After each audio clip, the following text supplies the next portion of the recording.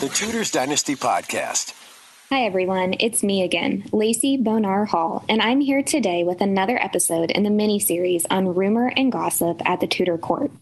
Today, we'll be traveling back in time to the reigns of Richard III and Henry VII as we explore one of the biggest mysteries of the medieval and Tudor period the disappearance of the princes in the Tower. The princes in the Tower were Edward V and Richard, Duke of York, the sons of King Edward IV, who died unexpectedly in the year 1483. Instead of the crown going to Edward's son, his brother, Richard, assumed the throne as King Richard III. Richard's nephews were locked away in the Tower of London, never to be seen again after the summer of 1483. The fate of the princes is still a hot topic today, and it's one of history's greatest mysteries. And it's one I couldn't pass up exploring for this series. So today I'm joined by three expert historians who specialize in the period and who give some really fascinating insights into the key players who are often blamed for the disappearance of Edward IV's sons, Richard III, Henry VII, and Margaret Beaufort. Our first guest is Matthew Lewis, an expert on all things Richard III. Matt is one of the world's foremost experts on Richard and his rule, and he's even written a book on the princes entitled The Survival of the Princes in the Tower, where he puts forward some really interesting theories on the fate of the young boys. Our second guest is Nathen Amin, who specializes in Henry VII and his reign. Nathen explores the rule of the first Tudor monarch and his Henry VII and the Tudor pretenders. And he has some really exciting ideas about what may have happened to the princes. And last but not least, our third guest is Nicola Tallis, author of the book Uncrowned Queen, an engaging biography on Margaret Beaufort, mother to Henry VII and one of the most powerful women to live through the period known as the Wars of the Roses. Join us for the first part of this two part episode as these experts explore the disappearance of the princes and the possibilities for their fate. Hi, everyone. Thank you all so much for, for coming on the show. I'm so excited to be able to sort of meet the three of you virtually uh, and be able to talk about what's one of my personal favorite uh, historical topics the princes in the tower. So, thank you so much for coming on. Pleasure. Yeah, so yeah, so so like I said, this is really exciting. We are very lucky to be joined by three historians who each specialize in a historical figure who's often at the forefront of accusations of guilt when it comes to the mysterious disappearance of the princes in the tower. So Margaret Beaufort, Henry VII, and Richard III, of course. So, to kick things off, I thought we would just go expert by expert to ask about the rumors surrounding the guilt of these three figures. And then we'll go ahead and circle back and ask each of you your thoughts on the possibility of their guilt. So, I have a few set questions for each of you, but I would love for this to be a conversation. So, please feel free to weigh in on anything that you'd like. But do keep in mind that since this is a podcast, maybe try to keep from speaking uh, over one another just so the listeners at home can can be aware um, of who's talking i know that can be kind of difficult especially when it's um, a topic that is as interesting as this one and something like i said uh, that the three of you really specialize in but so we're going to jump right in. Our first question is for you, Nicola. So it seems like some popular portrayals of Margaret Beaufort have led people to believe that she's always been scheming for her son, Henry, to take the throne, which has led some people to say that she's guilty of wrongdoing in the cases of the princes in the tower. So, was this a rumor that circulated at all at the time? Or is this something that's just like a modern day type of invention?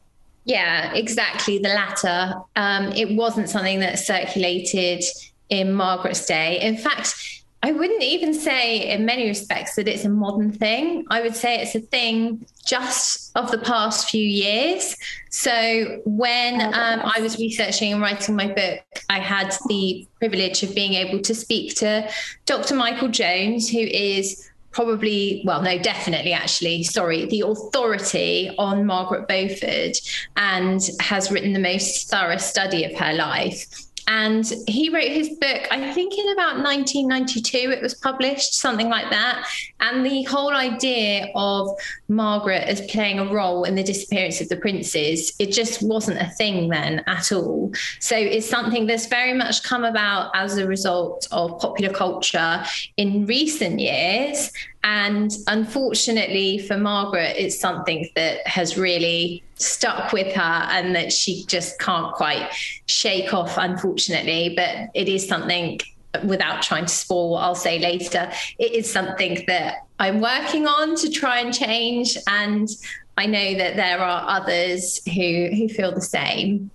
Okay, that's that's good to know because like you said, unfortunately it does it seems like it's one of those things that really has staying power that it's especially uh, on social media, which I know all of you are pretty active on social media. It's not unusual to see people laying a lot of blame uh, against yeah. Margaret Beaufort when talking about the Princes mm-hmm. in the Tower, even though there really isn't, like you said, any of that uh, historical evidence or charges laid against her uh, to back any no. of that up.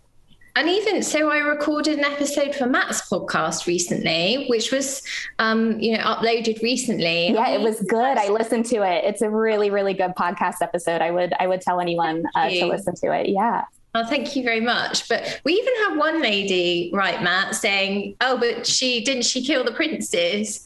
and it's like oh goodness sake and, but it does just go to show the i mean like her or loathe her and i know that there are people who don't like her but like her or loathe her there it is really annoying that there is this kind of stigma against her and it's just it just does go to show actually the impact that popular culture does have on shaping people's viewpoints and unfortunately I don't know. Are we going to see that change? Probably not. But I do feel that it's quite quite unfair in, in, Margaret's case. She wasn't perfect, but you know, I think that a popular culture has a lot to answer for where she's concerned.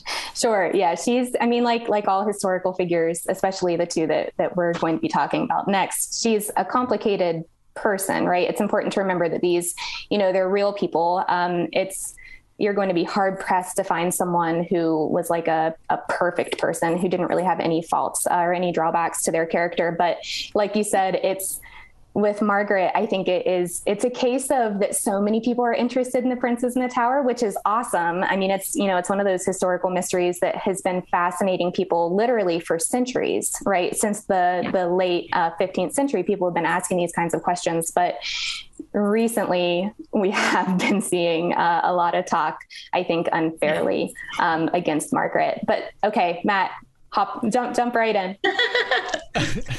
Why is everybody laughing? I don't know. It's, it's, a nervous laugh. You know what's coming. Um, no, I would only say that I absolutely agree with Nicola. The, this is a, a modern phenomenon. It seems to come with an incredible amount of conviction that it's definitely true. Those who espouse this idea are utterly convinced, and I think partly in an effort to exonerate Richard III, they're just aiming at another target to to fill that gap and point the finger at somebody else. But I would also say that Margaret Beaufort was up to her neck in all sorts of things in 1483. She's convicted of treason in Parliament in February 1484. You know, she's attainted for treason, which theoretically could have led to her execution, but she's her life is spared and she's put into the custody of her husband Thomas Stanley. So there is a sense that Margaret is up to an awful lot in the contemporary record, but nobody ever points the finger at her anywhere about the princes in the tower. And you'd think that would be a pretty easy claim for Richard to put against her, which is part of my argument about Richard murdering the princes. That there's lots of other people he could have pointed the finger at if he wanted to blame them, and he never did. Um, so yeah, I, I was just wanting to agree with Nicola that Margaret being accused of murdering the princes is. Sorry, was that shocked that I'm agreeing with you, Nicola? No, sorry, my cat just slammed the door, and I was just going, "Oh, sorry," but no, I, I, I am quite shocked. it shocked the cat. yeah, the it shocked the cat. So. I agree with you. So she she was up to her neck in all sorts of things, but no contemporary accuses her of murdering the princes in the tower. What I will also add to that is I did have an interesting discussion once with a with an elderly lady in the Richard III Society at one of my speaking gigs, and she came up and she she queried me why are people now saying that Margaret Beaufort killed the princess? Which took me back a bit because you know my my experience with a lot of Ricardians um, in the modern era via social media does tend to be that Margaret Beaufort is you know the the, the devil herself and almost certainly the the butcher of children. So, so this lady's question took me aback a bit, and, and I asked, uh, "What does she mean?" And she mentioned that she'd been a member of the Richard III Society for fifty years, and it was only in the last ten years that this name had started to be put forward. You know, in the past, we've she said we've had Richard III, Henry VII, Buckingham, James Tyrrell, and you know all the old classics. But where had Margaret come from? And you know, I, I have to say that I've only been around studying this for this 10 years and you know i don't have any prior experience of margaret suddenly appearing on the landscape. And we have to almost certainly level the responsibility for that at philippa gregory and social media. Um, you know you, you you hang around any of these facebook groups at the moment I'm going to say it's probably leaning in very heavily to Margaret Beaufort being the the, the, the murderess of the Princess of the Tower on um, on you know Tudor Facebook, Ricardian Facebook groups. Um, it's it's essentially a fact now. it's it's become a fact. And I will, you know, I will support the, the Richard side in this. This is as much of a fact now as perhaps Richard has been for the last four five hundred years. Um, Mm. I, as I always say, to to unmalign somebody, you can't necessarily malign another. It doesn't really work that way. This tit for tat history, but there we go. Yeah, I was just gonna. I was just gonna add that as much as I, I kind of really want to disagree with Matt, and we do disagree on certain things because it's fun. But um, genuinely, I think he's got a really good point to say that um, you know, Margaret was up to her neck in all sorts of other things. And so it's not right. Equally, even though I don't think she played any part in the mystery of the princes in the tower, it isn't right to say, okay, well, yeah, she's she's perfect, she's great, she's this, she's that, because you know she was very much in 1483 she was one of the key players in the events and she was very capable of committing treason clearly. So um, I think that it is, is important to look at it from you know an objective standpoint and say, yeah, you know, she did have this conspiratorial streak in her for sure. I would just add that the, I mean, the the only element in which I would concede that I think Margaret Beaufort may have been involved in what happened to the Princess in the Tower is that the Crowland Chronicle reports that as part of those October 1483 rebellions against Richard III, that a rumour begins to be spread that the princes have been done away with and murdered. I think that that rumour is based on absolutely no knowledge, but I can see Margaret Beaufort, or at least her faction, being behind the spreading of that rumour to blacken Richard's name, to, to draw support away from him, to convince Elizabeth Woodville in Sanctuary to join her cause. You know, we know it's her doctor that goes to visit Elizabeth Woodville in Sanctuary and sets up this arrangement where Henry Tudor will marry Elizabeth of York, Edward IV's daughter. So I can see Margaret, perhaps, and this is me, you know, guessing, I can see her perhaps starting or being involved in spreading this rumour that the princes have been done away with to destabilise Richard's government, but that doesn't mean that she did it or had anything to do with it or knew what had happened to the princes. It would have just been a convenient story for her to use if that is the case, but that's just me guessing. Or Richard could have just killed them. Just putting it out there. He could, but so could Margaret. You know, the fact that nobody accused her at the time doesn't mean that she didn't do it. Oh, come on. Lots of possibilities. Uh, but I do, I like thinking, and, and obviously, you know, none of this can be um, proven without a shadow of a doubt unless we end up getting some news sources which i'm always hopeful that someone's going to stumble on something uh, that that is kind of like that smoking gun but obviously you know we don't have that yet or else we wouldn't still be talking about this 500 years later but i do think it's interesting like you point out matt to say you know we we have this statement in a chronicle. We don't know where it came from. They don't cite their sources but who might you know, have been responsible for that nugget of information and why might that nugget of information even been put out there in the first place? Because it is you know it's important. I think we we look back on the princes in the tower and especially just richard iii uh, as an individual we look back with hindsight and a lot is clouded um, by people like Shakespeare, right, who have given us these popular portrayals um, of people in the past. And then now, like you said, Nathen, Philippa Gregory, who's kind of clouding the character of Margaret herself. And I think it's, you know, it can be easy to make people uh, look like they're 100% bad or sometimes 100% good. And it's just, it's important to remember, you know, that that's not the case. And even some of this information that we might have from these chronicles, it doesn't necessarily mean that that was 100% the historical reality that there it might have been someone uh, feeding information to someone else for their own purposes. Someone who gets a lot of pushback on social media um, is henry VII, right? He's not entirely um, popular. He can often be overshadowed by his son who i don't know if, if henry viii is more popular um, as an individual, but he's definitely someone who's talked about more. Maybe his personality um, isn't liked as much, but he's someone who gets a lot more face time.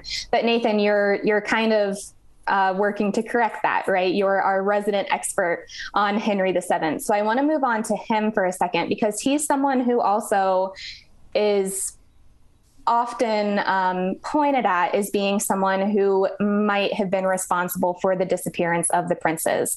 So now we have to assume that this would have kind of been a delicate subject for him, especially after he ended up marrying Elizabeth of York, because she, of course, is the older sister of the princes and the tower. But do we know, did anyone in the 15th or 16th centuries talk about maybe Henry VII having been involved at all in the disappearance of the princes? Uh, to give you my the long answer, no. I love that. Now, the thing is, people will say um, there's no record, there's no known accusation leveled at Henry VII because why would there be? He was the victor, and the victor writes the history, etc. But you know that, that statement not never is, is not necessarily accurate in most cases. You know, if that statement was true, that Henry VII had written this perfect history of his reign and his time, we wouldn't have so much negative portrayals of him today. You know, we wouldn't have such characterizations of him as being a miser. We wouldn't we wouldn't even know the names Perkin Warbeck and Lambert Simnel and all these other rebellions against him. Um, we would have the image of this perfect, wonderful angel from heaven, as one chronicler called him at the time. You know, that would be our sole idea of Henry. So I think it is telling that there isn't any known record of him having killed the princes in the tower, not because he did it and he covered it up and he got his propagandists to to portray him as as you know blameless. Because well he didn't do it and there's no real evidence there's no real credibility i i believe in him having um, done away with the princes in the first place. Hence there's no you know there's no mud that's stuck to his name at, at this time um, i might be wrong you know i by no means have I read every source or uncovered every document. I've, you know, I'm still on the on the start of this journey of trying to find out more, really. So, you know, somebody out there might correct me and pull out this little document that's been hidden away for 500 years in the in in the Richard III archive somewhere, waiting waiting to bring down my one man crusade. Um, but but no, I mean, as far as I'm aware, there, there was no contemporary accusations levelled at Henry, and I would I would add, what, why would there be? I think part of the issue with, with thinking about Henry VII as being involved is that that requires the princes to be alive in 1485, because obviously Henry is out of the country until August 1485, and I think for many people that even that is a stretch too far. Most people don't think they were alive still at that point, which means that Henry is absolutely in the clear so I'm not one of those people. Obviously, I have my own wacky ideas about the princes in the tower. Um, but I, I mean, I, to counter that, you know, I would also say that after 1485, Henry is pretty much controlling the flow of information. He controls what is known about the pretenders and all of that kind of thing. And so I mean, we we know, for example, so the the whole bigamy story about Edward IV that makes Edward V illegitimate also makes Elizabeth of York illegitimate. Henry has to re-legitimize Elizabeth so that he can marry her. We know in 1483 that there is evidence of that bigamy, whether it's true or not. I, you know, we we can't assess that because that evidence hasn't survived. Because Henry would have had a vested interest in destroying it and getting rid of it because he wouldn't want bits of paper floating around that suggested that his wife was illegitimate. So Henry would have been controlling the flow of information to some extent. Yes, you know, his reign isn't painted as all glory and sunshine and, and brightness, as Nathen says, but he was in control of information. So if the boys were alive in 1485 and something happened to them after that, we probably shouldn't expect Henry to have written that down somewhere. But I just to jump in quickly and say that my personal feeling is that Henry's own reaction to the pretenders, so Lambert Simnel and to Perkin Warbeck, suggests that actually he didn't know what had happened to the princes. And, you know, because he was trying to do all he could to find out about the identities of these two imposters. And I think the fact that, um, you know, that he did spend so much time and, and energy on that suggests that yeah actually he he didn't know what had happened so therefore he can't have been involved uh, that's just my uh, I, I, I, also think that this idea that you know Henry as a master of propaganda, you know, this Tudor machinery that's completely controlling all the flow of information has been completely overstated. And there certainly was a concerted attempt to control the information of the day, as there was under the Yorkists, as there has been under every single king, queen, and government to the modern day. There certainly was an element of that, but too much slips through the cracks in history. I mean, we all sit here and we all work going through uh, the little archives, little financial records. Something would have slipped out. I mean, th- that's why I still come down to this idea that the boys died under the reign of Richard III, because nothing else comes out after 1483, 1484, no records, no small payments, nothing survives. I know that buys into my theory that they were killed during that time. That also supports Matt's theory that they went on to survive and hence they were spirited away.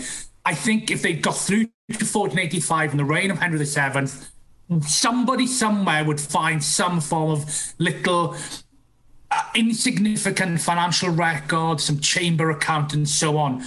Again, if if Henry had really had that tighter grip on this control of information, we wouldn't have a Richard III society today because no one would find anything plausibly decent to say about him. Um, the fact we do shows that um, you know these guys try to control the story put out there, but again, just like today's media, there's too much too much counter in that for anyone to have a complete control of that. Um, but there we go. Who knows? Who knows what'll turn up? I would only, I would only add to that that no one has found that smoking gun and that piece of paper yet. No. I mean, people haven't particularly pursued the idea of the boys surviving beyond 1485. Most historians laugh at me when I say it. You know, it, it absolutely. Yeah, I know. Hands up, everyone who's laughed at me saying this. Yeah, absolutely. People don't take it seriously. Therefore, it isn't an avenue that has been properly resourced and, and explored in the way that lots of other aspects of medieval history have been. Because yeah. it's often a side note in a book on the princes in the tower. They might have survived, but obviously they didn't. So I just wonder whether this hasn't been explored fully enough yet, and we're just waiting for that to come. Yeah. Because because weirdos like me sit on podcasts like this and talk about the idea that they might have survived. No, I think you're. I think you're making a really good point there, Matt. And I think, do you know what? I desperately, desperately want Matt to be right because I like him and I, I've got so much respect for his work. But I just can't. I just, I can't get myself there. Um, but I do think you're making a really valid point that it has been under researched and that perhaps we do need to turn our attention a bit more to post 1485 and what what evidence we've got one way or the other. Um, but on the other hand i would say that maybe there's a reason for that. And maybe maybe it's just because it's all pointing back to 1483 i think that's um it's it's a good thing to think about. You know i mean how fun would it be if we found some evidence that suggested that maybe they did survive or that maybe one of the pretenders was, in fact, one of the princes in the tower. Uh, so, Matt, keep looking.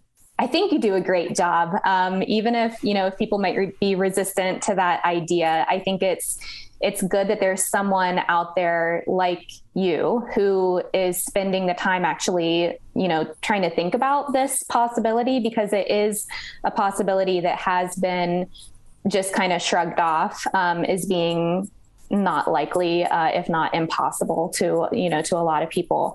Um, so I, I, would say you know to anyone who's interested in that to get their hands on your work and to you know maybe be a little bit more open minded, thinking about possibilities that don't just uh, blame Richard, which is what I want to talk about next. Um, so, Matt, I do, I want to come to you with this one because obviously Richard is, that's the person who I, I would say nine times out of 10. Um, but Nathen, like you said earlier, I don't know if that's even the case uh, now in the age of social media. I know I did a poll um, on Twitter asking people who they thought was responsible for the disappearance of the princes in the tower. And I expected more people to say Richard III, um, but they didn't. It was, you know, a lot of people said Buckingham. Um, a lot of people said, uh, Margaret, you know, or Henry VII. But I think traditionally at least, uh, the person who has taken the most blame is Richard III. So, Matt, I know you you obviously have some really interesting theories on what might have happened to the princes, which I do want to hear about um, those theories if you'd like to share those in a bit.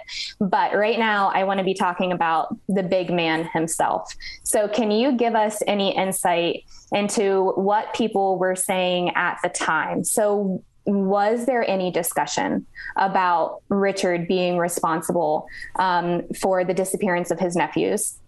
Or is this, again, something that just came out further into Henry the Seventh's reign, um, or you know, further into the the Tudor period? Is this something that was talked about at all, um, especially when Richard himself was still king? I think, unsurprisingly, it is something that is talked about while Richard is king because these two boys are there and then nobody knows where they are. And obviously, the rumour mill is going to go crazy. I think what's interesting is the number of sources who will only report, you know, people have said that maybe something might have happened to these boys, and they don't often actually name Richard. Some will say, you know, perhaps the king was behind it. So we've got kind of you could probably count on one hand the number of sources from within England within Richard's reign that that really talk about the princes in the tower, and probably less than that name Richard as potentially doing it. All of the the early certainty that Richard murdered the princes in the tower really originates on the continent. So we get uh, in January 1484, a man called Guillaume de Rochefort stands up in front of the French Parliament and tells them all that Richard III had murdered his nephews and usurped the throne of England pretty clear, you know, no doubt there definitely happened. But I think with a lot of these things, context is important. So the very short version of this is that France are in their own minority crisis. So the problem that England had faced in 1483, France are net deep in it in 1484 and 1485. 1485 to 1487, they hit a period of civil war known as the Mad War, which is a fight over the regency of Charles VIII. And I think what I think what the French are saying there is we don't want to be like those horrible English over there, do we? Look, they murder children and then you get a monster on the throne. So I think Richard is a political lesson, a, a tool that's being used by the French for their own aims. And I think also the French had, just before Edward IV died, the French had kind of been making efforts to reignite the Hundred Years' War. They were on the verge of invading England. And I think Richard III is a very different prospect on the throne of England who frightens them more than Edward IV did, and certainly when they're in a minority crisis is more worrying. So I think lots of that very early certainty that Richard definitely murdered the princes really comes on the continent, which is obviously where Henry VII is. So probably they're the stories he's hearing and the people around him are hearing that Richard has murdered the princes in the tower. But I just say that that doesn't make it true. That isn't real evidence. People in France are unlikely to have known what had really happened to the princes in the tower, I would suggest. Um, and then, of course, we get this kind of growing body of of people accusing Richard after Bosworth. So lots of the, I mean, within a year of Bosworth, we've got a Spanish ambassador, Diego de Valera, writing back to Spain to say, you know, Your Majesties, you know very well that Richard murdered the princes in the Tower. But you know, again, nobody knew very well what had happened. So de Valera is interested in a, a an alliance between England and Spain. So he has his own little agenda going on there. And we've got John Rous, who is a really good example of this flipping story. So I don't mean flipping story, I mean the story being flipped. So he writes in 1486 uh, that the usurper King Richard III ascended the throne of the slaughtered children. And he's also the man who, he's the only written source for Richard having uneven shoulders, which might sound like it makes him reliable, but he tucked this in with lots of detail about Richard being retained in his mother's womb for two years, born with a full set of sharp teeth, shoulder length hair, long fingernails, and uneven shoulders. So it was kind that was kind of written off because it's in the middle of all of this other nonsense that he writes. But a couple of years earlier, when Richard was alive, Rous couldn't sing his praises loudly enough. He was saying what an amazing, incredible person Richard was, which makes sense when he's the king, let's be honest. But but in the immediate aftermath of Bosworth, Rous kind of scurries around the countryside collecting up all of these manuscripts that say Richard's amazing, rewrites his whole story in, in posh, fashionable Latin, saying that Richard is the most dreadful human being who ever lived. So I think he's a really good example of how you can see that story just turn almost on the day on the day of the Battle of Bosworth. The story turns and it's set. So there are people who talk. I mean, a good example of rumours spreading around comes from a guy called Robert Ricart, who is the recorder at Bristol, and he wrote in um, in a an, an, entry for the year ending the 15th of September 1483, so kind of the, the end of the summer of 1483.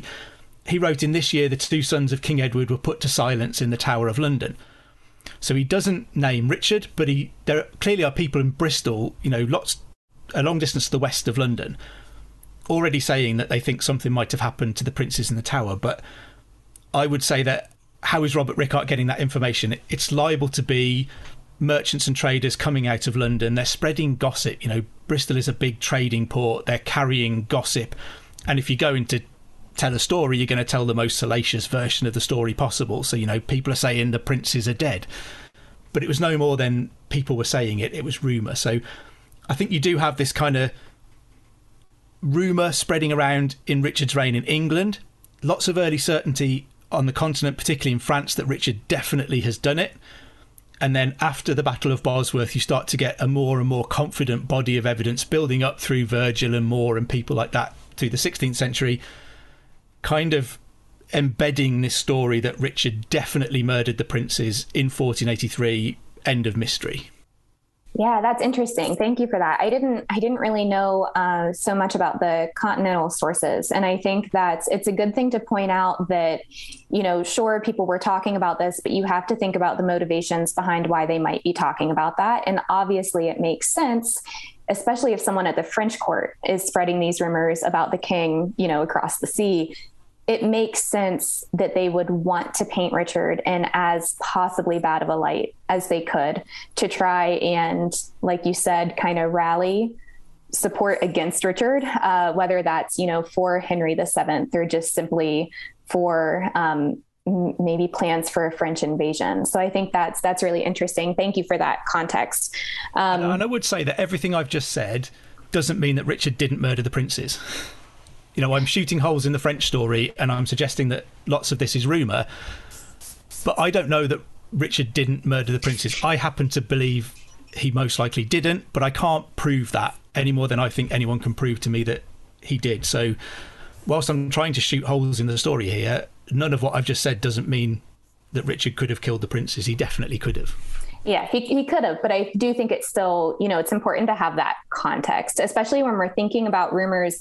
I think it's easy to think about the things that are said. I keep going back to Margaret just because, in my opinion, um, it's just unlikely uh, that, you know, that she had the means to somehow be involved uh, in their disappearance.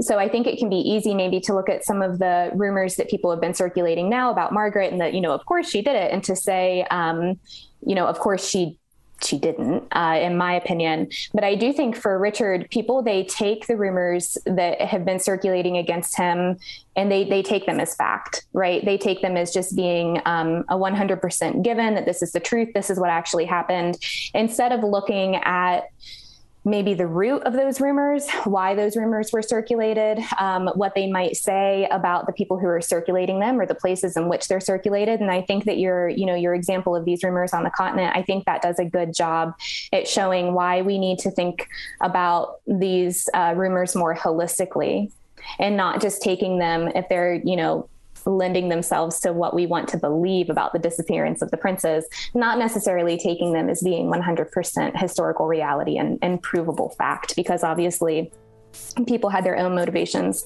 for saying the things that they said.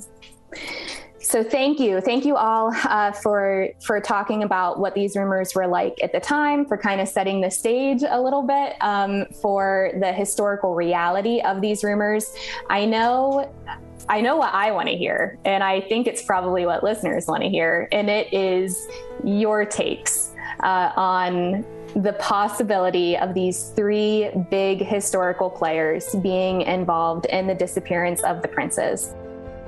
Okay, so I'm sorry to leave you all on a cliffhanger, but that is where we are going to end part one of this episode. But don't worry, Part two is going to be out soon, so keep checking back and we'll continue exploring what might have happened to the princes in the tower. Thanks for listening to this episode of the Tudors Dynasty Podcast. You can follow and support the Tudors Dynasty Podcast on Facebook, Twitter, Instagram, and Patreon at Tudors Dynasty.